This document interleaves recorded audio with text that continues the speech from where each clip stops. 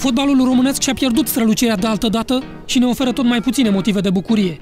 Campionatul intern a devenit o competiție ridicolă, cu jucători neplătiți și cu tribunele goale.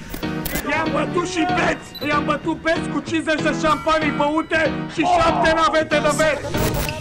Echipa națională nu mai are puterea să ne ridice de pe scaune, nici măcar atunci când se califică la turnee finale. Da, despre echipa națională o să discutăm când, când o să avem despre ce discuta. Aici am ajuns. Noi nu mai avem echipe care să însemne ceva. Steaua nu are centru de copii. Nu mai are. Au făcut mai blocuri, au făcut uh, moluri, au făcut pe terenurile de fotbal. S-a ales praful de tot. Uitați-vă la media pe care o avem astăzi de suporteri pe stadioane, da? 5.000. Suntem la coada Europei, da? Încet, încet, fotbalul nostru va dispărea și vom deveni o, o țară, rămână a, a treia la nivel fotbalist. Păi șase ani a fost fotbalist de super clasă, a fost un elev de super clasă și unul din cei mai, cei mai mari președinte de până la urmă. Da, mulțumesc, Ioane. Da? Nu grei pauze. Ei n-au făcut nimic doi ani de zi. Nu, nu contează asta. Pe Mircea Sandu și pe Mitică Dragomir i-aș da în judecată pentru un genocid împotriva fotbalului românesc.